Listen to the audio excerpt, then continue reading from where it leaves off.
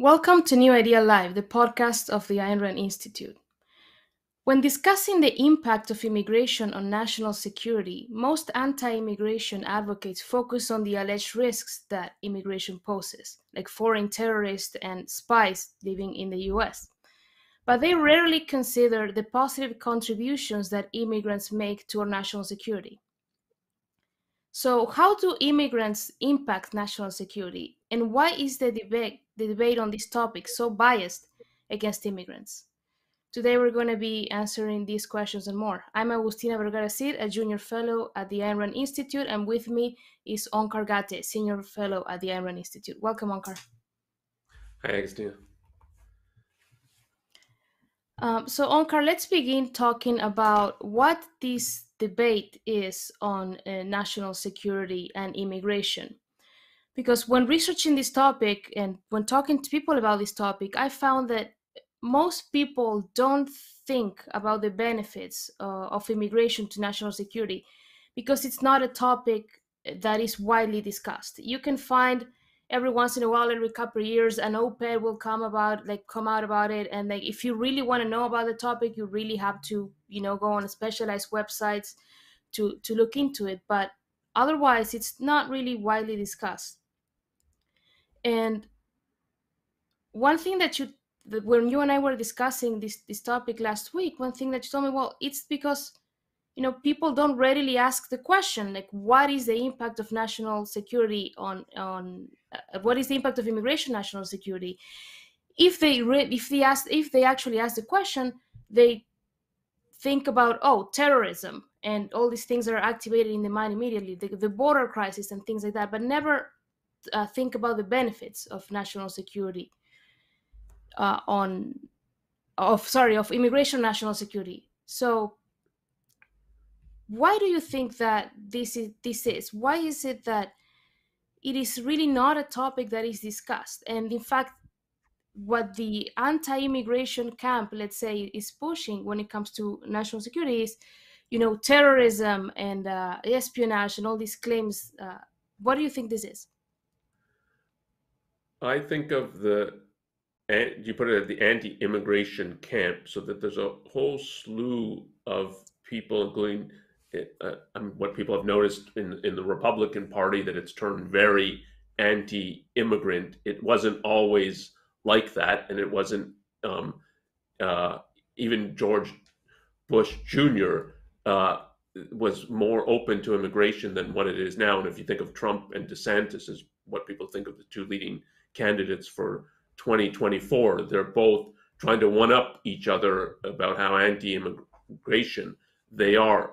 And so, if that's the context that, that when we're talking about the anti immigration camp, I don't think they're anti immigration because they studied the issues of national security and terrorism and terrorist groups around the world and thought, oh, we, we have to really clamp down on immigration, otherwise, we're going to be uh, supremely vulnerable. They're anti immigration for other reasons.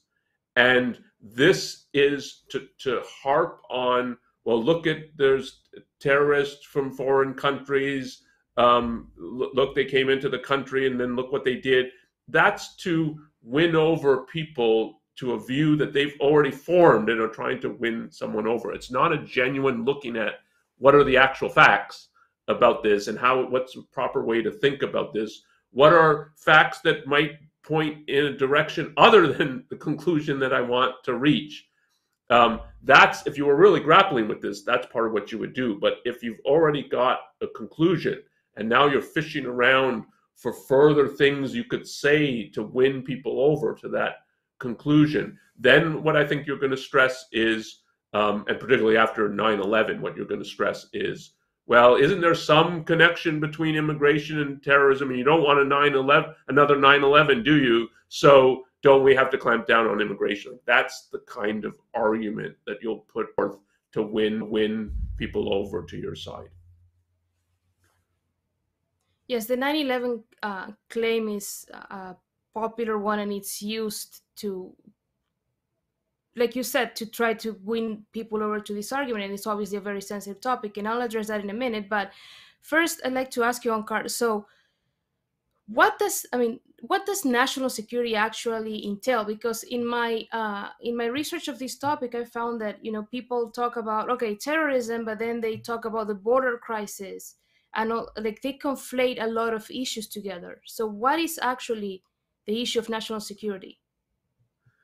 Yes. So if you think of, of the, the so-called border crisis on the, the southern border, it is true that there is a crisis in some sense because our immigration policy is so fundamentally flawed that it's a lot of people want to come in. It's not clear what the criteria will be for them to be able to come in. Um, the, there's the border guards and so on are trying to prevent people from coming in here to work. And you can't view people coming in to work on farms and so on as a national security threat. So, but but the, they'll put it as a border crisis and look at the chaos and try to paint it as well. Look, aren't things out of hand? And uh, national security means order and so on. So, is doesn't there some connection to the two? And there is no connection. You can think that there's a way in which it's a breakdown of law and order, but it's mostly of our own making because our immigration policy is trying to keep out people who want to come here um, and work and trying to prevent Americans from employing these people and so on.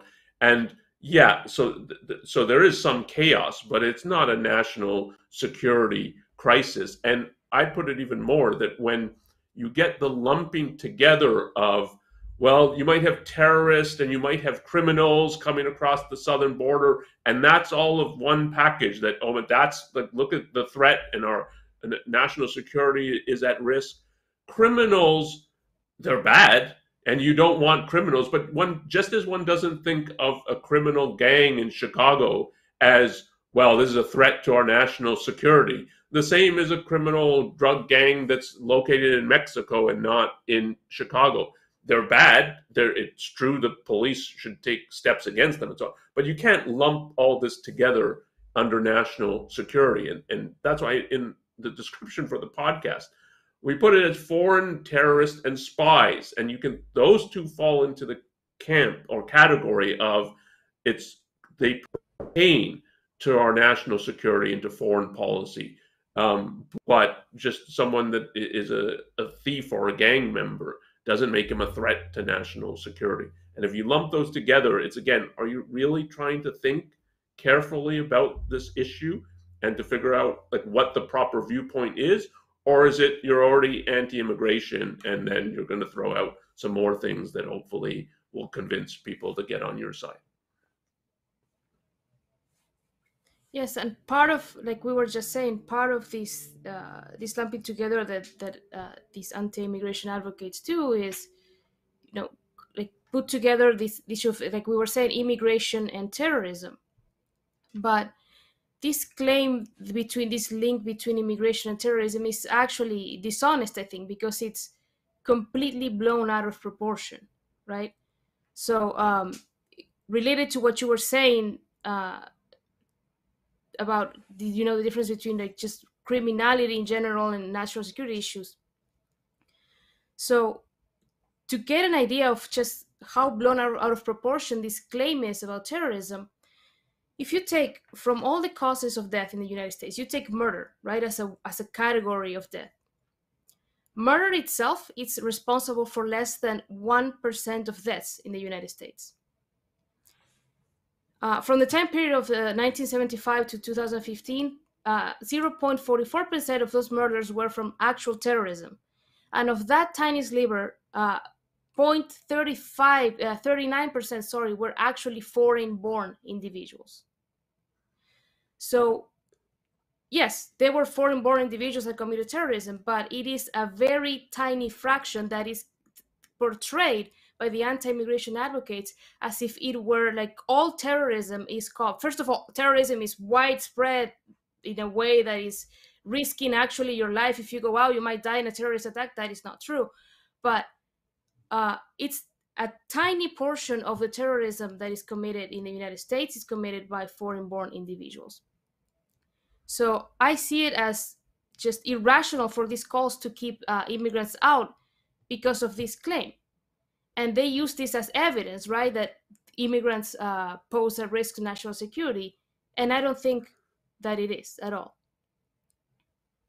Uh, and it's part of and the further, category. Go ahead. Oh, I was going to say, so part of the categorization. So I think part of what you're objecting to, it's so it, it I think it's true that terrorism is not an existential threat to the U.S. Um, and even what happened after 9/11. The much more pertinent threat is what we do in response to 9/11. Not that these um, terrorist groups or Al Qaeda has any real possibility of toppling the U.S. government or something like that. It is, but they can do real damage, and if our response is zero or worse than zero, which I think it turned out to be in regard to what we did in Afghanistan and Iraq in, in response to 9 11. The, there's the, that's the real threat to U.S. national security that will um, undermine our own uh, defense and do things that further endanger, further embolden the, in this case, it's the Islamic terrorists throughout the Middle East which is what I think happened actually after 9 11. But it's the so, but that's not to diminish that this isn't a threat. But you can't go from um, some immigrants are terrorists or some would be immigrants or so, are terrorists to well maybe this immigrant or that immigrant is a terrorist so and this again if you were thinking about national security and really concerned about it what you're what you would be proposing is the mechanisms to really focus on and target terrorist groups and and that includes monitoring terrorist groups abroad and so on and to figure out like who are they recruiting who are potential people that might come and try to sneak into the US and so on you wouldn't have some kind of blanket surveillance of hundreds of thousands of would-be immigrants as though they all might be a terrorist. Like there's that is um, it's so illogical. Uh, and if you understand sort of the roots of terrorism and that they're fighting for an ideological cause and so on, the idea that you can just like take some random person in, in a foreign who's born in a foreign country and think, well, some foreigners have been terrorists, so maybe this person is. That is um, that is not real thinking. Yes, and uh, I think I agree that a more targeted approach would be even like much more effective in in trying to prevent these threats. But you know, after 9/11, all these uh, you know extra security layers were put in place. You know, and this anti-immigration rhetoric started like resurfacing. Like, like we were saying, immigration equals or can potentially equal terrorism, and in fact, the, the, the this the, the 9-11 the 9-11 terrorist attacks are you know used a lot for for this as, as we discussed but the fact is that it's not and this i think this shows part of why the one of the main reasons this debate is dishonest.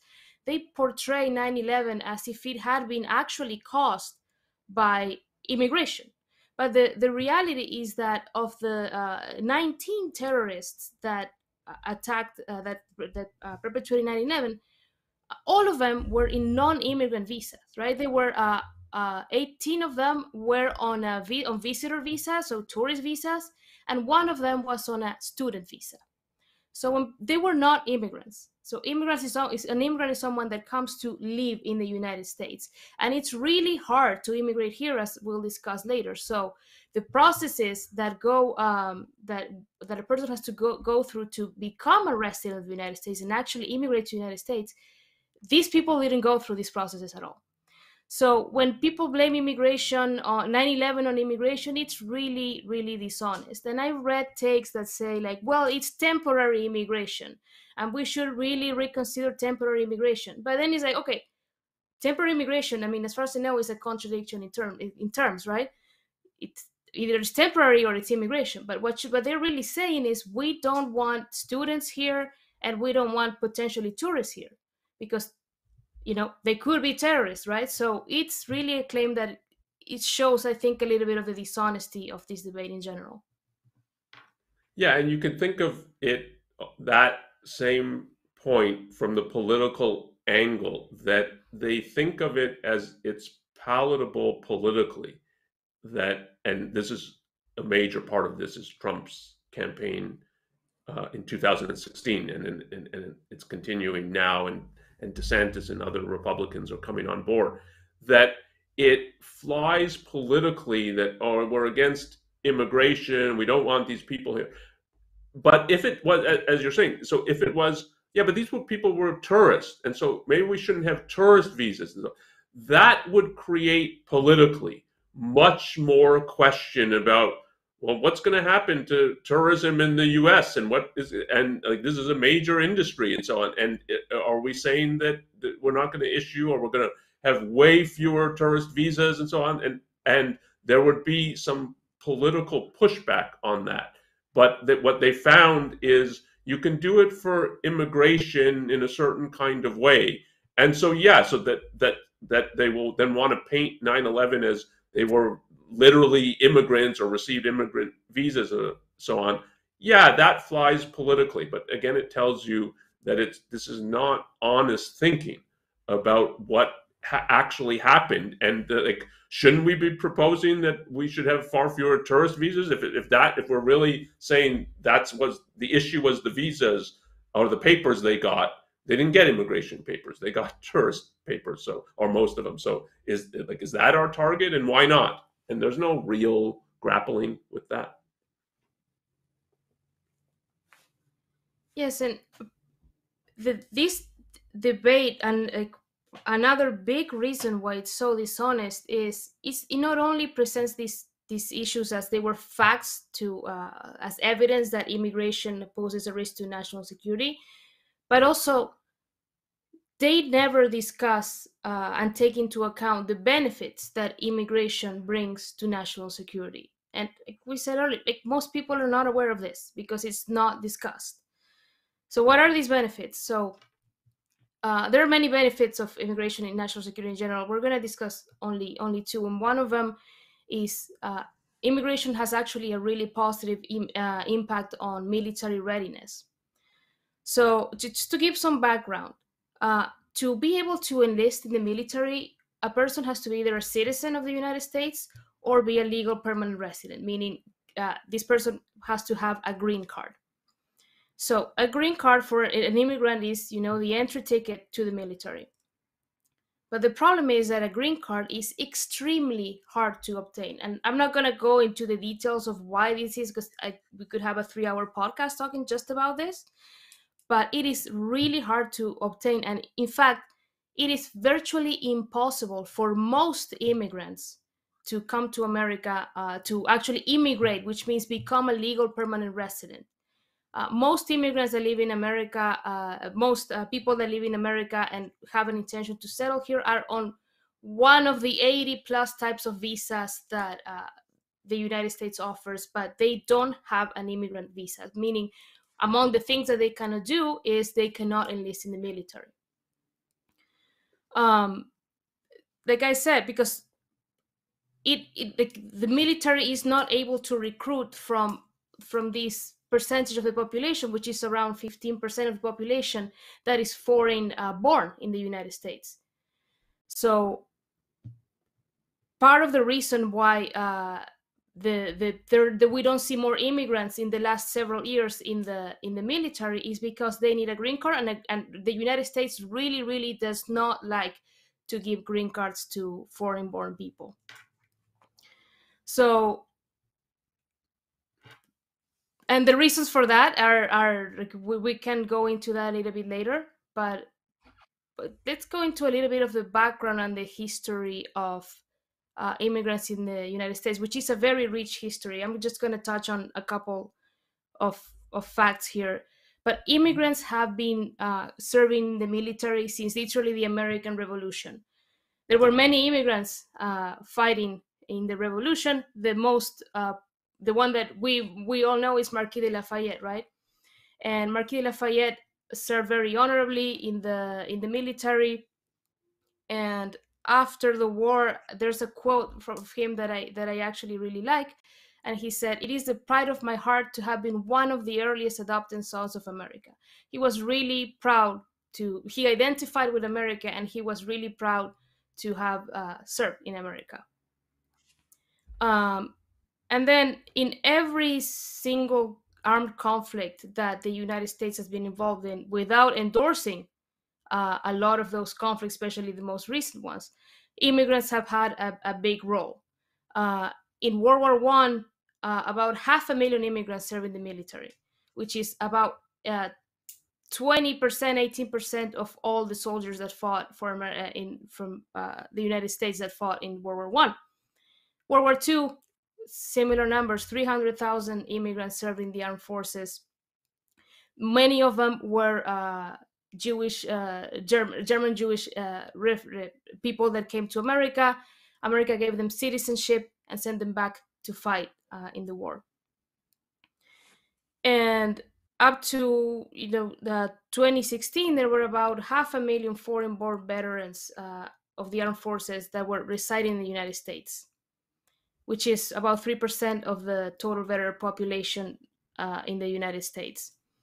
So immigrants have always been a crucial part of the of the army of, of, of the military and they have made great contributions and they have helped not only with a lot of uh, intelligence especially like in world war ii immigrants were responsible for a lot of the intelligence in, in germany but also in uh, adding numbers to the military to, to the recruitment right? And uh, during the Bush administration, there was some recognition of this, and the there was a program called the MAVNI program, which is uh, an acronym for Military Accessions Vital to National Interest.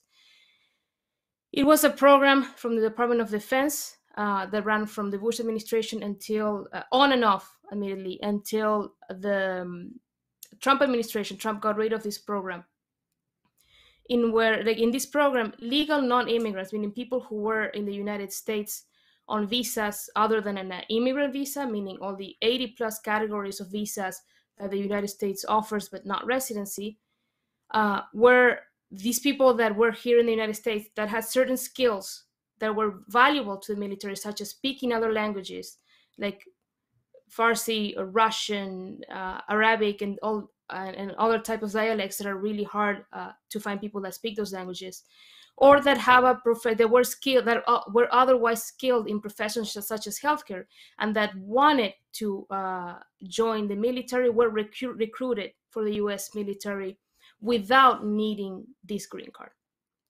Um, and this program is no longer active. And right now we're dealing with a historic uh, crisis, a recruitment crisis in the United States. And uh, and, Onkar, I think you wanted to remark something about the MAVNI program. Um, well, it was uh, the the when you say it no longer exists, it's no longer in place. Why do you think it's no longer in place? What, what do you think the actual what do you think the actual arguments were, and what are the actual causes of why it's no longer in place? Um, well, the argument was that there was, um, from what I understand and from what I've read, there were national security concerns uh, about these foreign-born individuals. They were saying, "Okay, you're a foreign-born individual. You have ties to foreign countries." Well, of course, I was born abroad, right? Like I, that's what uh, these people that were recruited would, would say, and. Uh, from what I read, the reasons, and there are a few op-eds about this and, and accounts of what happened. The reasons that these people were uh, not only that the program ended, but also uh, a lot of the people that were that had been actually recruited to the MAVNI program were dismissed. Were really not reasons that that made any sense. Like for instance, like I said, like okay, this person has foreign ties because his grandfather was a uh, or there's a security concern because his grandfather was a communist in China and oh, but that doesn't say anything about the individual. And of course I mean if you're born abroad you're going to have ties abroad you're going to have parents you're going to have sisters you're going to have friends all kinds of things. So i think the real reason that the mavni program stopped is because they really there's it was not really a concern with national security because in fact immigrants like we're saying contribute to national security. And some of the recruits of the mavni programs were really really valuable assets for the for the military. I think the reason is they just don't want immigrants. They don't want foreign born individuals. They want they don't want immigrants in america. And they're not grappling it's not about national security. It's just that they don't want people uh, foreign born people here. What do you think yeah, yeah it is it's part of the reason to think that the concern with national security is a smokescreen. That if you will actually go so far as do things that are harmful to national security and you've recruited valuable people into the military so, and then it's oh so, so long we, we don't want you anymore that that's not a concern with national security that's you don't actually care about national security what you care about is being anti-immigrant and when it seems like you can paint that under the light of national security, you do so, but you're not actually interested in the issue of national security. So it's it's um, the it's not just sort of they're focused too much on the negatives, not the positives. That in the end, I think that it's not a driver. That what they that they're concerned about national security and they will prioritize their anti-immigration above national security. That when the two come into tension, that well, I'm anti-immigration, so I want to send these people away, but I'm supposed to be pro-national security, so shouldn't we be keeping some of these people? What will trump is their anti-immigration, and I think this the, this kind of program and the attitude towards it is evidence of that. And more broadly, as you said, the, the, the whole important context here is that the military itself talks about a shortage, a shortage of people, a difficulty of recruiting. So, and there's plenty of evidence to think a subset of immigrants would be interested and motivated to enlist in the military if we made that easy. And as you indicated with some of the stats, it's not as though the military has no experience with immigrants, like it will be chaos now in our armed forces because we've got all kinds of immigrants. It's had immigrants throughout its history. It knows how to handle that. And again, so if you were concerned with national security, this would be a major question about like shouldn't we be increasing immigration from the perspective of we need to recruit people that we have a, a, a military that's at the capacity that the military leaders thinks that we need given what they've been charged with in, in terms of executing our foreign policy.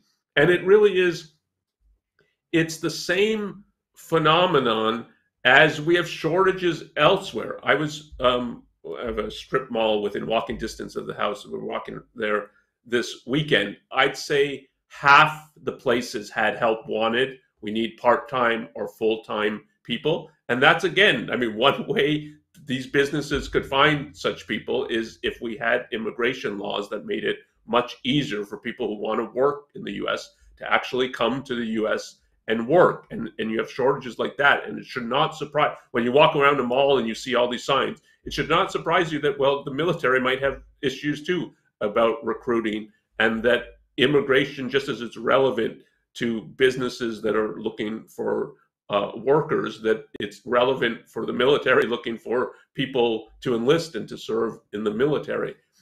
And it, so, but again, that the fact that it's not really talked about and they don't feel the need to say, well, I'm on the side of national security. So don't you have to think about, well, what is the impact of immigration on some of these kinds of things? And that, the, that they feel, no, I don't really need to talk about this it tells you that national security is not actually what is driving their concerns and their attitude.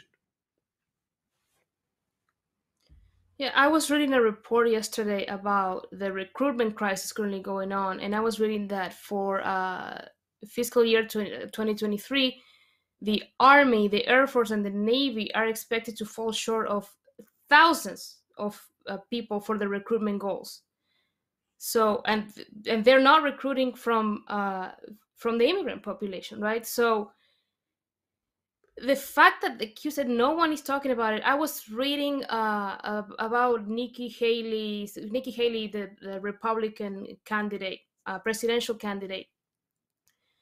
She was talking about immigration, like securing the border and calling it a national security crisis. And then she was talking about um, the military and how we can, you know, uh, make our military stronger and better there was absolutely no mention of immigration or even an indication that we might need a strong like we might recruit from uh, from the immigrant pool in, in America to to make the, the military stronger. Of course, the recruitment crisis is very complex. There are many factors going on there. That is, it's not that okay, we recruit immigrants and the problem is solved. There's clearly a deeper problem here but it could greatly help and the fact that no one is even you know exploring the possibility not i mean not i'm not i shouldn't say no one because there are people uh, that are really looking into this and that have uh, really uh, advocated for this one such person is um, uh, margaret stock an immigration uh, lawyer that is very respected and he was actually the one that spearheaded the the mavni program. But all these mainstream candidates right these mainstream politicians are not pushing for this and not even trying to consider this. It really shows like you said that it's not really a they're not really primarily concerned about national security i don't think. And so we can move on to another reason why uh, immigrants greatly contribute to national security and that is the skilled workers uh, that the military needs in technology and cybersecurity, the immigration population can provide a lot of those skilled workers. So part of the, the issue that's going on is that the United States is falling uh, short of people with STEM degrees. Um, so because we don't have people enough people with STEM degrees, it's really hard for the military to recruit people that are experts on AI and cybersecurity and other things that are essential to the to national security that are not necessarily you know actual soldiers, right? Part of the reason why there's this crisis going on with STEM students is not just that you know American students don't go into STEM professions. That is one uh, that is part of the problem but part of the issue also is that the united states receives and trains students on stem careers and these students come here generally on an f1 visa on a student visa but then the united states trains these students and then kicks them out right? Because it is really hard like i said for anyone to really stay here to to immigrate here to get a to get a green card. So these students study here then some of them are able to do uh, uh, optional practical training, which is uh, basically a period of time after their student visas in which they can actually work, uh, have a, a, work permit, and actually work. Because when you're on a student visa, you cannot work. In very very rare exceptions that you can work, but after the the your studies finish, sometimes you get the chance to study to work on the field that on, on something that is related to the field that you studied but after that it's really hard for students to stay because they have to apply to another type of visa like an h1b visa and those are really hard to obtain so the us is effectively training all these students and you know kicking them out. Um, meanwhile what's interesting is that china and i'm not trying to this is just because i want to highlight just how a, a communist dictatorship can actually identify the need to foster and to keep talent and america is not doing that. China has the explicit goal of training and attracting all the best talent in stem professions xi jinping himself said that and i will quote him from one of his speeches in 2022 we will value talented people, nurture them, attract them, and put them to good use. No effort should be spared and no rigid boundaries drawn in the endeavor to bring together the best and the brightest from all fields for the cause of the party and the people.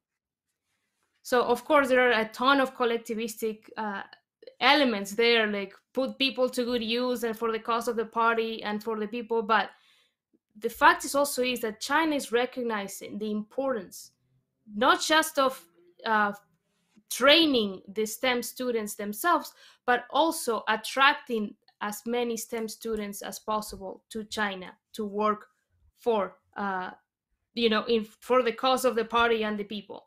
So the fact that a communist dictatorship can see the importance that this uh, that this talent has, and America is does not, and not only that is that America sees these students these these foreign-born individuals want to be or, or the people that want to be immigrants as a threat.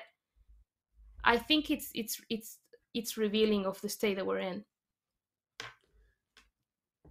yes i i put it the the so as you said i mean obviously for china it's a whole collectivistic nationalistic perspective.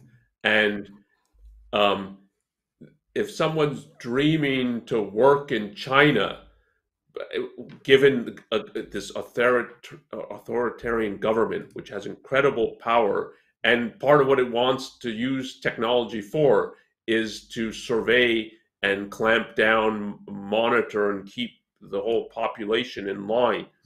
It's you that that's not a legitimate activity to be participating in. But if you think of it from the perspective of you've got a student from Ethiopia and they've come to the US to a university, they've studied STEM, and they don't want to go back to their country. And if they feel like China is more welcoming of them with a whole mm-hmm. authoritarian government than the US is, that's shameful. And it's shameful for the US that that, that could you could someone could possibly think, oh well, I could have a better life and a better career in China than I could in the U.S. I'll be a researcher, I'll be productive, and so on. And the U.S. is uninterested, or is, it seems like it's actively trying to get me to go home. Um, and that China seems to have open arms for that. I mean, so there are going to people who will make that choice, and it is shameful from the perspective of the U.S. that that's the choice that we're offering them. And it's again, just like in the issue of recruiting for the military and so on, the broader context is if the US were open um, to people coming here to work, and I was talking about the help wanted signs and so on, one aspect of that would be immigrants would also enroll in the military, enlist in the military, or some part of the family that comes, they would enlist. Um, and that that is good from the perspective of the operations of the US military. And the same here, the, the issue for STEM and technology is that the whole private sector uh, and leading tech companies in the US want that the immigration laws are much more open and inviting to people from around the world who uh, are bright, accomplished in this area, or have enormous potential in the area, and the U.S. should be a, they should have the experience that it's we're have open arms. Like if if this is what you want to do with your life, then you're an American.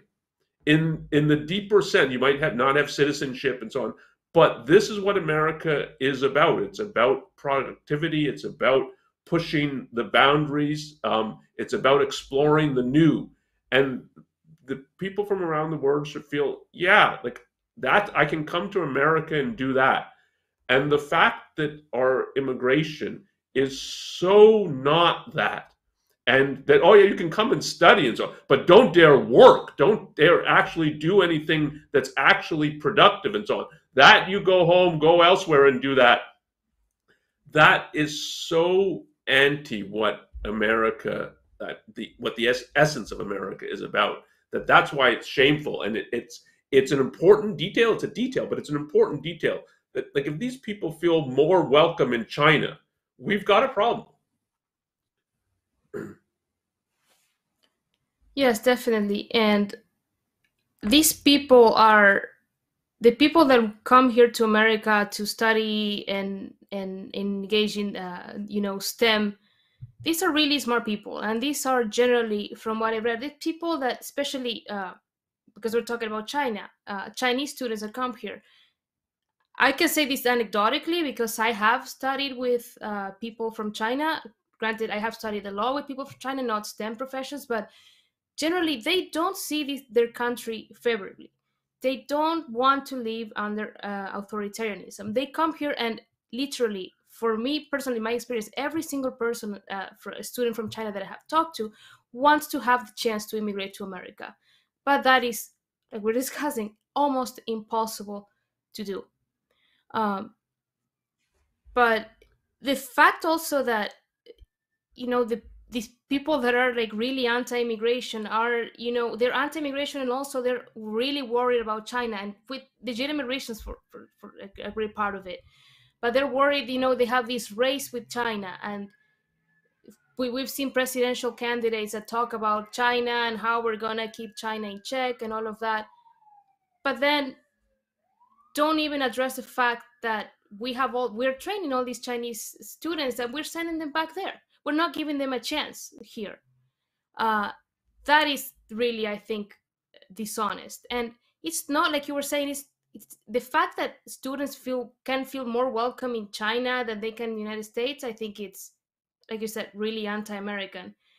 But it's also not just china because of an interest in you know uh, beating the us us in the arm race if you go just to canada Canada has this program that it's called the the um, uh, express entry. So basically, what happens is if you're smart, if you're smart, if you have a college degree, uh, if you speak English or French, you can get a green card in about six months. So if you have a, a young person from uh, China or India, even the, we have a lot of STEM students from from India too.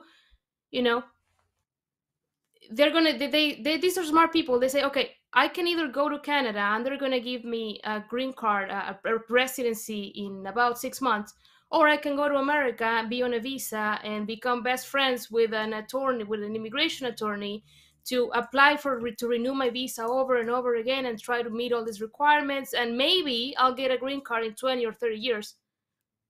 Who do you think a smart person is going to choose? They're going to choose Canada, right?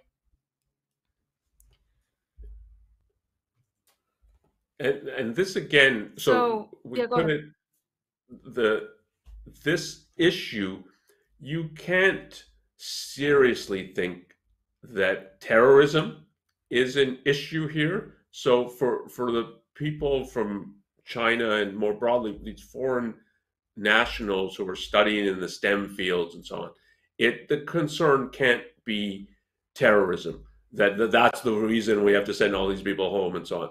Um, and it, the, I mean, they've been here studying for a number of years and so on. And it, you have zero reason to think terrorism. There's some reason to think spying is a concern, and particularly in regard to China. And spying here, I include, so it's spying on governmental facilities, policies, classified documents, and so on, trying to get at those, but also what they call corporate espionage of trade secrets, of trying to. Those are real issues.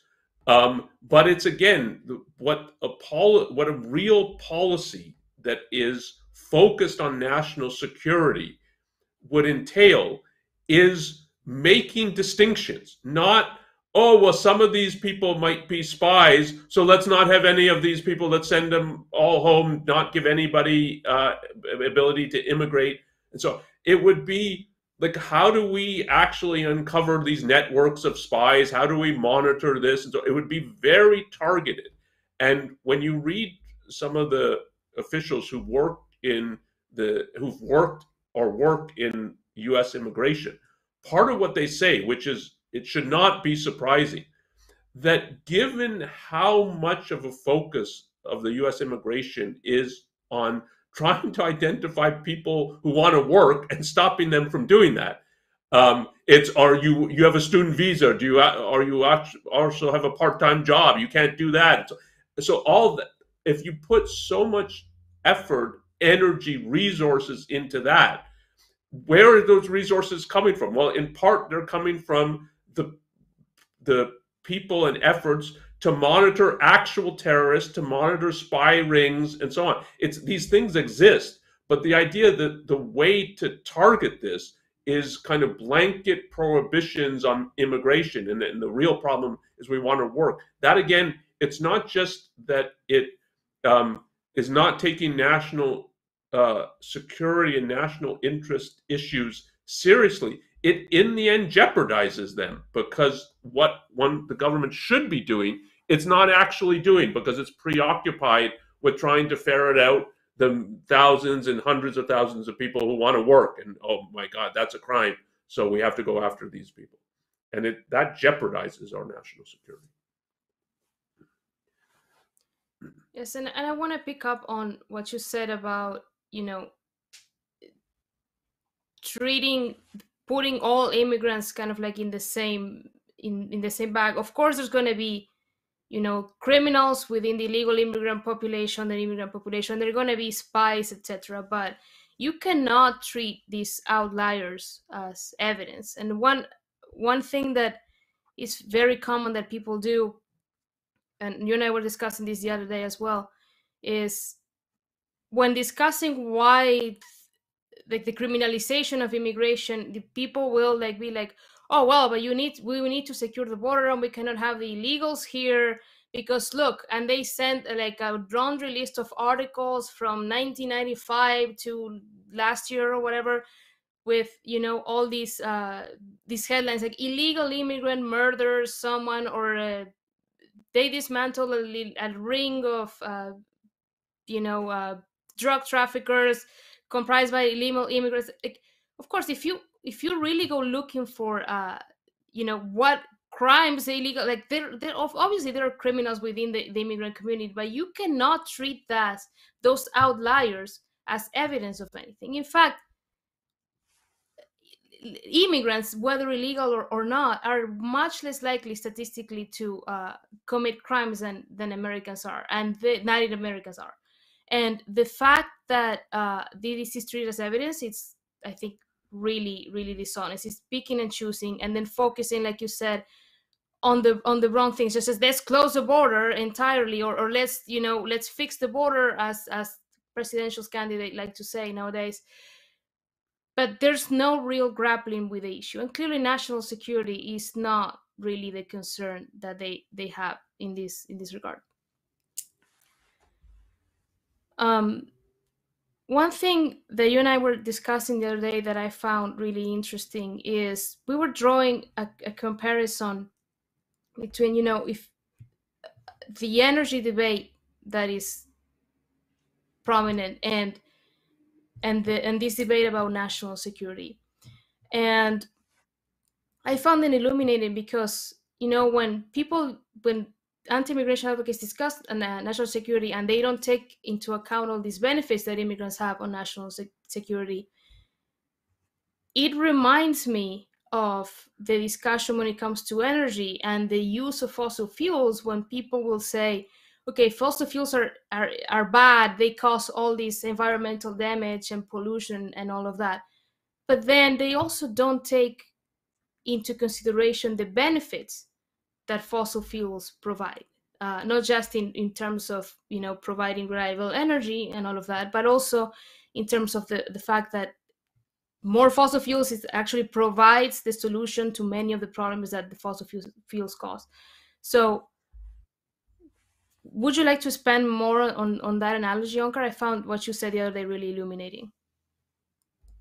It's part of thinking how a debate is dishonest, like what the dishonesty involved is. And often what it is, is you're holding a conclusion for other reasons, and then you're marshaling supposed arguments and evidence in favor of your conclusion.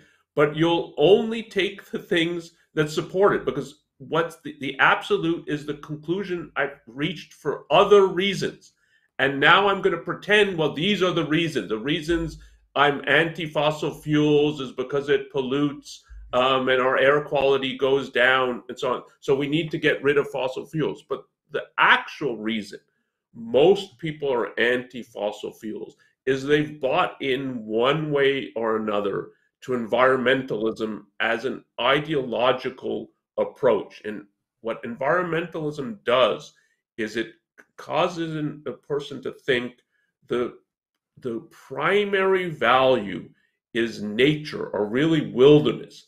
That it's it's the it's nature untouched by human um, interest human hands. It's pristine it's wild it's natural not artificial. And artificial means man-made. It means man has intervened. That that's when we look at issues of value that's how we should look at value. That's what we're trying to accomplish. And then everything man-made particularly man-made at, at a grand scale where you're having real impact on the world where you're reshaping the world. And what human civilization does is it reshapes the world. Um, the the world in the 21st century looks nothing like it did in uh, 20 centuries ago the the amount of industrialization um, and human effort work to transform the world into a place that's much more hospitable for human beings. That I mean, if you just look at the combination today of the the globe's population and the average living standard, it still could be dramatically higher than what it is.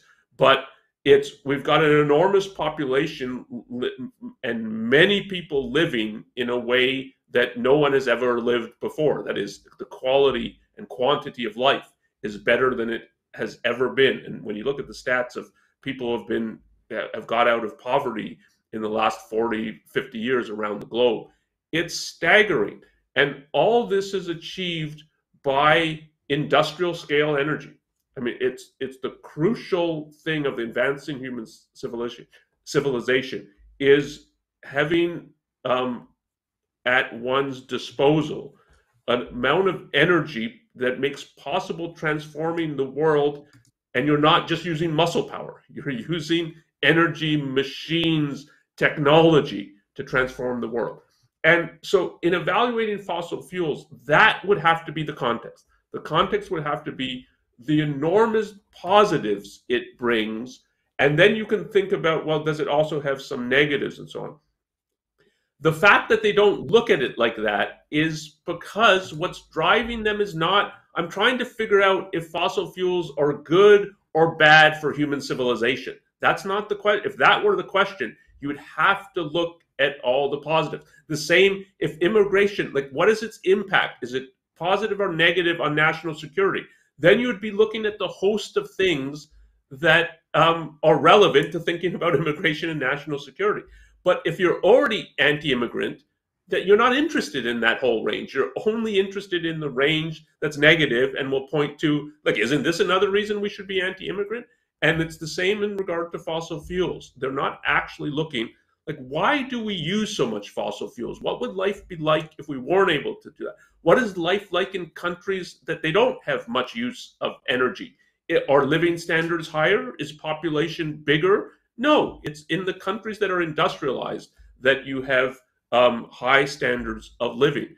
And so if the question really were are fossil fuels pro-life or anti-life on net you'd be looking at this range of facts. But if you're already anti fossil fuel because it interferes with wilderness, with pristine nature, and so on, then you're only going to seize on, oh, but doesn't it cause some air pollution and doesn't it do this and that? And ignore the fact that for if you look at just um, the standard of living over the last hundred years, there's a correlation between use of energy and a growing standard of living. And the correlation is causal. It's you need um, massive energy and machines in order to build a civilization.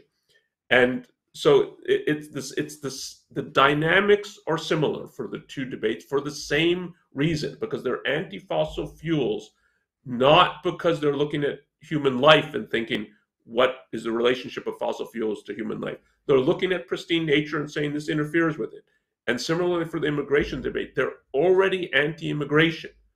And so they're not actually trying to think about what is the impact of immigration on national security. What they're trying to find is things that will support their anti-immigrant view. And I think that it's interesting to me that a lot of the people that are generally anti-immigration will be uh, in favor of, of guns, right?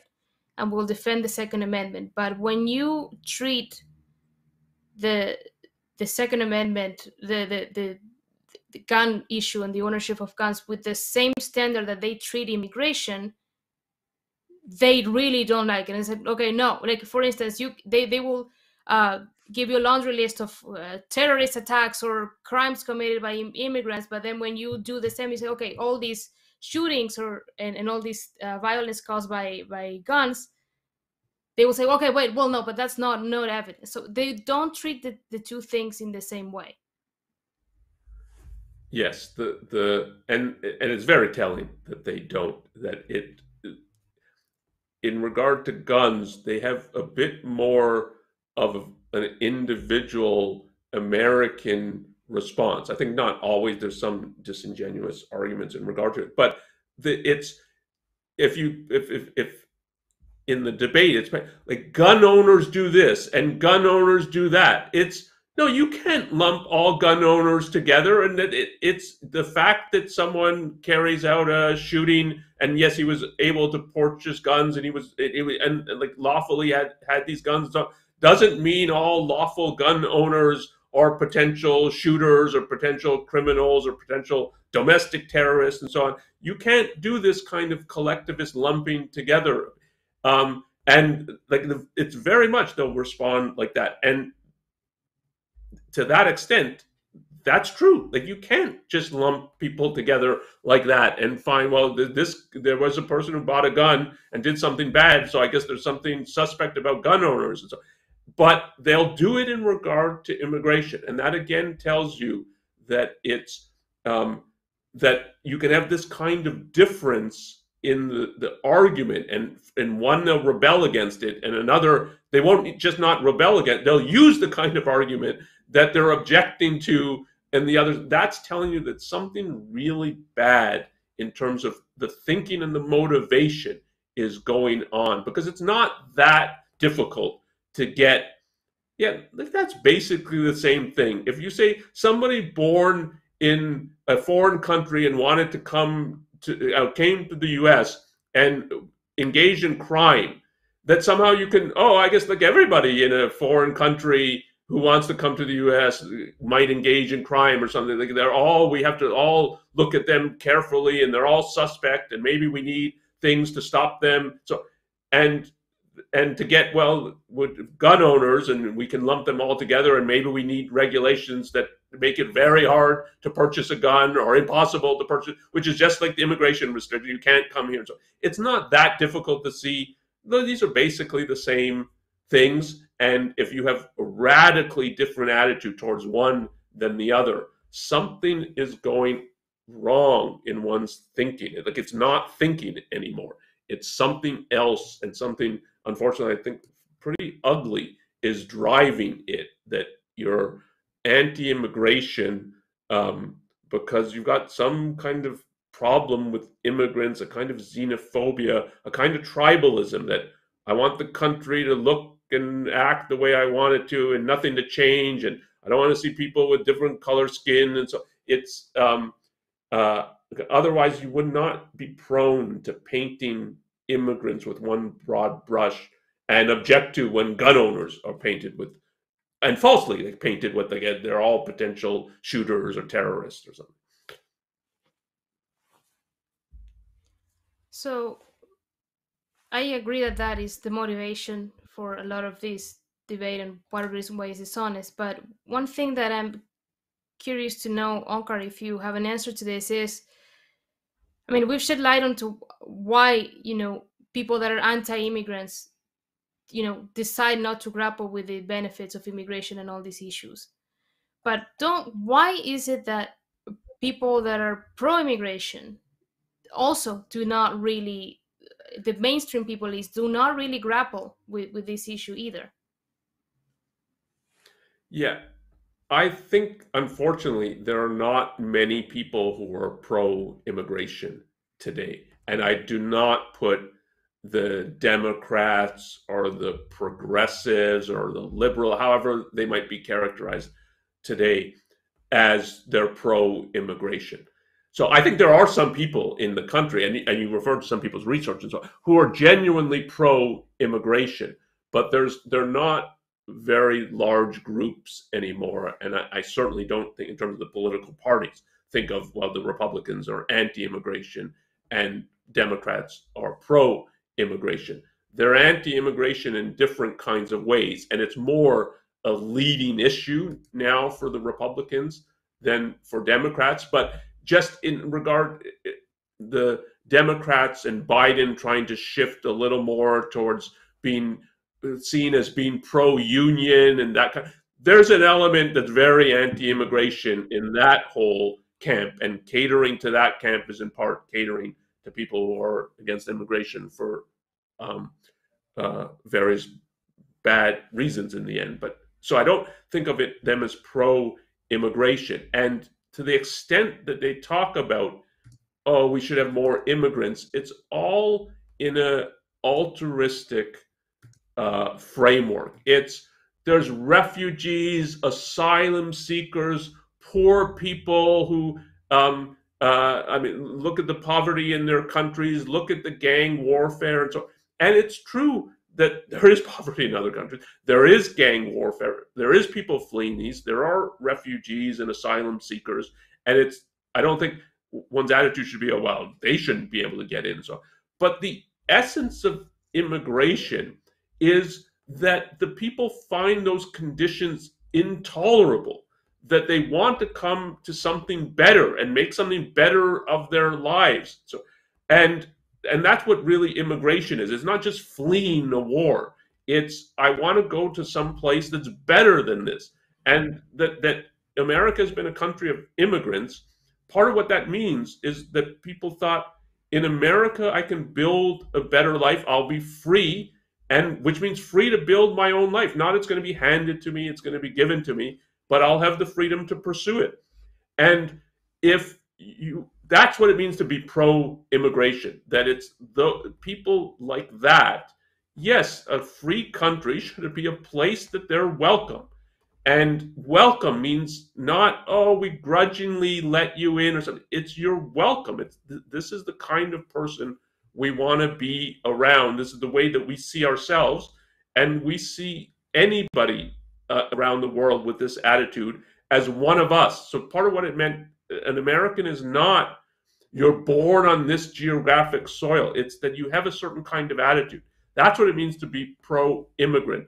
And then so then you're pro-individual, you're pro-building, creating, working, not oh, look at the poverty. It's look what they would have be able to do if they were not circum, um, if their circumstances were not they're part of a country that either has no government or corrupt government or authoritarian government or totalitarian government and so on. Imagine what they could do.